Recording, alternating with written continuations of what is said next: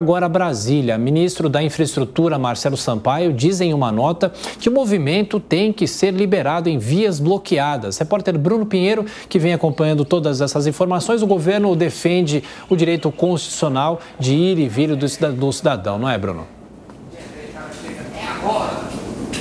Imediatamente, viu, Tiago? Essa nota divulgada, inclusive repercutiu muito nas redes sociais. O ministro Marcelo Sampaio disse que é fundamental manter e assegurar os serviços essenciais, inclusive essa ida e vinda, na verdade, de todos os o, a, as suas pessoas que utilizam essas rodovias, além de assegurar o direito de ir e vir de nossa população, ele também reafirmou que é fundamental manter o funcionamento de serviços essenciais e rodoviário de várias cargas e de forma de que não haja qualquer tipo de falta de abastecimento. E aí entra também supermercado, o combustível que já chega a faltar em algumas regiões, já que vários veículos, vários caminhões estavam em viagem e não conseguiram acessar diversas cidades. O ministro Marcelo Sampaio mandou esse recado aos manifestantes, dizendo que era importante o entendimento a fim de que não dificultasse a chegada de insumos e de medicamentos e também de combustíveis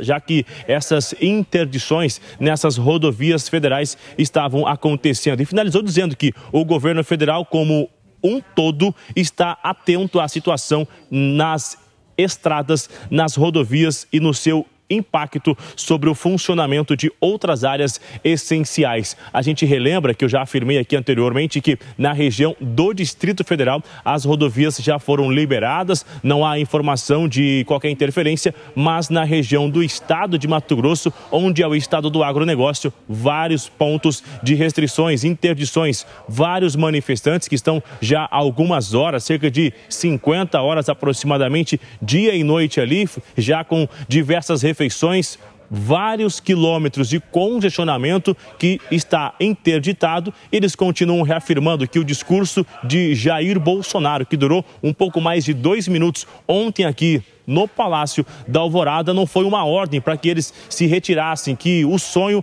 ainda continua e que eles vão ficar até uma segunda ordem até receber uma outra informação. Então, no estado de Mato Grosso, as rodovias não foram liberadas ainda, viu, Tiago? É isso, Bruno Pinheiro de Brasília. Agora, gerando os nossos comentaristas, Amanda Klein, essa situação ainda não foi definida. Olha, Tiago, essa situação é absolutamente absurda, porque ela flerta com uma pauta, uma agenda inconstitucional, não prevista na Constituição.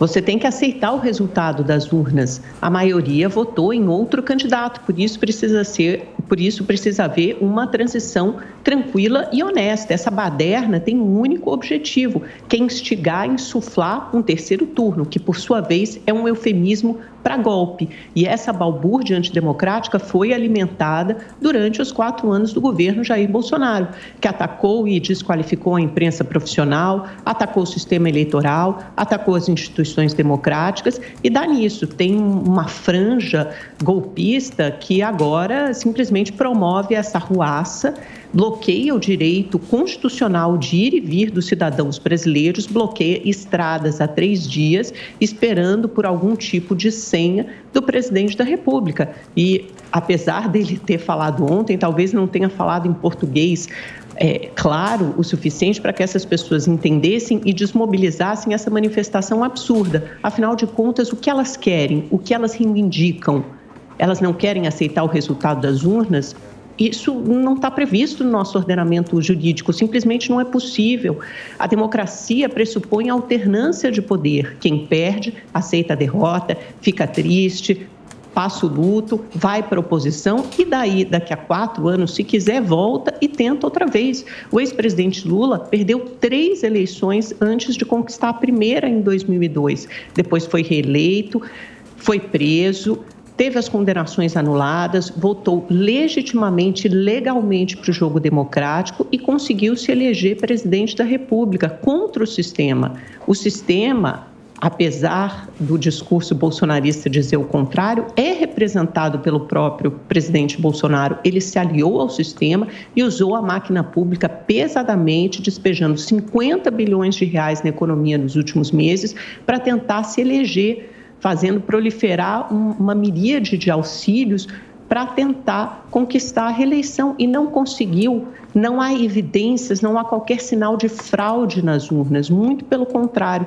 Aconteceu, foi reconhecida não só pela comunidade nacional, por todo o mundo político, pelos governadores, inclusive por aliados do presidente Bolsonaro, pela comunidade internacional, pela OEA, que mandou mais de 100 observadores para verificar o processo brasileiro tudo isso aconteceu de acordo com as regras do jogo democrático. Portanto, é hora de pacificar, de unificar o país, de ir para casa, dos perdedores aceitarem a derrota, passarem para oposição e, dali a quatro anos, voltarem legitimamente a concorrer conforme prevêem as regras do jogo.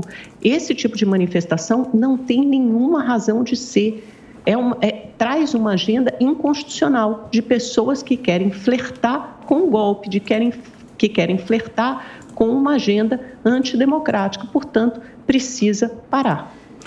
O Mota, a gente acompanhou muitos protestos de categorias, né? Geralmente por aumento salarial, melhores condições de trabalho, benefícios. Dessa vez a motivação é política. Isso já tinha acontecido antes no país. Por que essa categoria tem essa ligação com o presidente? É, Adriana, protestos não são novidade no Brasil. Greves não são novidades no Brasil. Na verdade, a gente, dos últimos uh, 10, 20 anos, vimos inúmeras situações parecidas com essa, muitas até de caráter muito mais grave, muito mais sério. Esses bloqueios de estrada são graves porque eles cortam vias essenciais ao abastecimento. Né?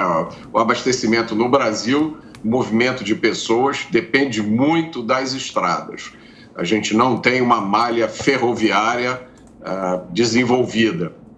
Essa situação não era uma situação prevista. Eu não me lembro de nenhum analista uh, dizendo que isso poderia acontecer, ou, ou algum cientista político, mas também tem acontecido muitas coisas surpreendentes nos últimos dias. Né? Eu vou restringir o meu comentário à questão é, do bloqueio das estradas, que é uma coisa muito grave. Agora, acontecimentos políticos, eles têm reflexo em toda a economia, em toda a sociedade.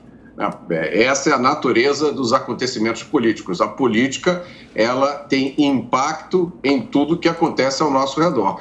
Eu me lembro de já terem acontecido outros movimentos no passado de caminhoneiros, né? E fica sempre essa discussão se tem uma liderança, se não tem.